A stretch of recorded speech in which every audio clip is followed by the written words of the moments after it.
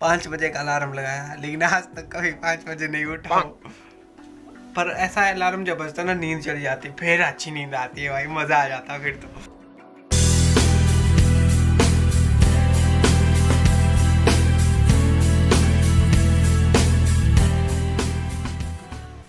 तो देख सकते हैं गाइस आप यहाँ पे तीन पेड़ है, इनके पल्लम हमें निकालने हैं। उतने ज़्यादा नहीं है इस बारी। थोड़ी थोड़ी ही। है मतलब एक दो घंटे इनमें। बस वो निकाल के थोड़ा सा यहाँ से घास काट के ले जाना है। ये देख सकते हैं आप? पेड़, बहुत सुबह गया था खेत को, वहाँ से आया मैं, उसके बाद नहाया धोया, खाना खाया, पूजा किया, सब कुछ कर दिया। अभी मैं आराम करने बैठा हूँ। नीचे से अभी और खेत में जाना है, थोड़े से पल्लम वहाँ पे भी होंगे, दो एक पेड़, उनसे भी पल्लम तोड़ के लाने हैं। नीचे तीन पेड़ थे, उनमें से एक रेट निकल गए बाकी हरे हैं। हरे नहीं तोड़ सकते। तो लाल लाल तोड़ दी क्योंकि पिछली बार फ़सल ज़्यादा थी, ऊपर से ओले पड़े थे। तो आधा से ज़्यादा माल जो है बेस्ट हो गया था, और एक साल फ़सल बहुत ज़्यादा आती है, एक साल कम आती है तो इस साल वो कम आ गई। और ओले भी पड़े थे पिछली बार, इस बार भी पड़े हैं, थोड़े ओले उतने ज़्यादा नहीं है, लेकिन कम ही है। तो फिर भी इस बार प्राइस ठीक है मतलब चला हुआ पल्लम का, जितना भी चला अभी पल्लम, नाशपति, ठीक ही है, अभी खुरमानी का प्राइस भी ठीक है। लेकिन जब ओले गिरते हैं तो वो पल्लम को ज़्यादा डैमेज कर देता है। इसकी वजह से पल्लम उतना अच्छा रेट नहीं पकड़ पाता। तो अभी हमें जा रहे थे हम ग्यारह बजे, अभी जा रहे थे। तब अभी कह दिया कि अभी नहीं जाना है, शाम को जाना है, शाम को जाएँगे, फिर दिन भर थोड़ी पढ़ाई करनी है। तो फिर उसके बाद शाम को निकलेंगे अपने खेत को, एक दो ग्रेट होगी, थोड़ा घूम फिर भी लेंगे।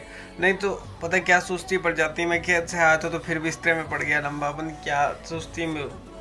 आलस गाइस इतना आलस भरा है। जो मैं कि मैं बता नहीं सकता आपको, इतना आलस भरा हुआ। सोना सोना सोना पता नहीं कितना सोना। पाँच बजे का अलार्म लगाया लेकिन आज तक कभी पाँच बजे नहीं उठा हूँ। पर ऐसा अलार्म जब बजता है ना नींद चली जाती फिर अच्छी नींद आती है भाई मज़ा आ जाता है फिर तो। यार गाइस अभी ना मैं खेत को निकला था और खेत से आ रहा था ना तभी ऊपर से एक मधुमक्खी गिरी और उसने मेरे पैर पे काट लिया यार। अब बहुत दर्द हो रहा है मेरे को पैर में। अचानक से गिर गई। कह रहे थे कि शायद निकाला ना आज। तो सारी मधुमक्खियाँ बाहर घूम रही है, शायद एक ऐसे गिर गई, सीधी पैर पे आके गिरी और उसने उसी टाइम डंक मार लिया। दिखाता हूँ आपको मैं। यहाँ पे गई यहाँ काट लिया मेरे को मधुमक्खी ने इधर। एकदम से आई, एकदम से काट के चली गई। पता नहीं क्या बिगाड़ा मैंने उसका। तो मुझे लग रहा है कि ये पैर हाथी का पैर बन जाएगा। अगर मधुमक्खी हुई तब तो कुछ नहीं। अगर दूसरा हुआ ना, वो तो बुखार डाल देता है। तो बुरे हाल दो तीन दिन तो, तो मैं कुछ बात भी नहीं कर पाऊँ। वैसे मधुमक्खी ने काटा है मुझे मुझे कुछ फ़र्क नहीं पड़ता। हाँ हल्की सी ऐसी खारिश खारिश सी होती है पर वो तो है सहन करने लायक। पर चल रहा हूँ ना चुभ रहा है जैसे कुछ। मधुमक्खी का दर्द थोड़ा शांत हुआ है। पहले तो बहुत ज़्यादा ऐसी जलन जलन सी होती है ना जैसे मतलब मधुमक्खी खाती है तो बस अब हो गया। एक घंटे में उसका जहर ख़त्म हो गया। पूरे शरीर में जहर है भाई किल कर दिया। जहर को जहर ख़त्म कर सकता है और कोई नहीं। समझ रहे हो ना? हाँ। गुड गुड मॉर्निंग गाइस उठ गया मैं आखिरकार सो सा के बढ़िया मस्त नींद आने के बाद। इस वक्त ना जो मधुमक्खी ने खाया था वो भी सोजिश आ गई। थोड़ी सी आई है ज़्यादा नहीं। मतलब पता ही नहीं है कि सोजिश आई है कुछ मतलब फील ही नहीं हो रहा है। नॉर्मल जैसा था वैसा ही है। सब कुछ बढ़िया मस्त चला। बस अभी थोड़ी देर में आप ना पल्लम तोड़ने के लिए जाएँगे, दूसरे खेत में। तो वहाँ से पल्लम तोड़ के आएँगे, देखते कितने। बहुत टाइम के बाद जा रहा हूँ उस खेत। बहुत टाइम के बाद। ऐसे कड़कते धूप, तीन बज गए। चार एक बजे तक निकल जाएँगे शायद तो थोड़ा मौसम ठंडा भी होता है। और वैसे धूप ना बड़ी तेज है, आज खतरनाक भी होकर जैसे। चलिए देखते हैं क्या बनता है। जाना तो पड़ेगा। तो ये पहुँच चुके हैं खेत में। और अभी इनका टाइम नहीं हुआ है लाल होने का लेकिन बारिश नहीं धूप नहीं है पानी नहीं इसलिए लाल कौन है ये लोग? कहाँ से आते हैं देख सकते हैं आप। सेब भी उतने नहीं है यहाँ पे। जो पेड़ थे वो सूख चुके नए लगाए हुए टोटल पर यहाँ पे बैल वगैरह ख़त्म कर देते हैं, सेब वगैरह, सब कुछ। छोटे छोटे पेड़ हैं। कितने निकले थोड़े थोड़े निकलेंगे वैसे अपना काम हो चुका है। हमने दो पेड़ निकाले छोटे छोटे थे।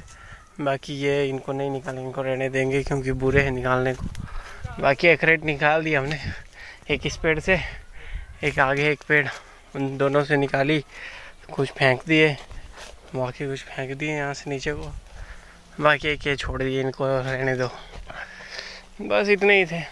बाकी नाशपति ही नहीं सॉरी परे को है नाशपति। तो चलते हैं अब घर को। इसको छोड़ते हैं गाड़ी वाले के पास। फाइनली गाइस घर पहुँच चुके हैं हम। अभी जस्ट पहुँचे हैं, थोड़ी हवा खा रहे हैं। साढ़े छः हो चुके हैं और अब मुझे करनी है थोड़ी सी एक्सरसाइज और तो बस उतना ही था आज का ब्लॉग ज़्यादा कुछ खास नहीं था, लेकिन तब भी बहुत खास था।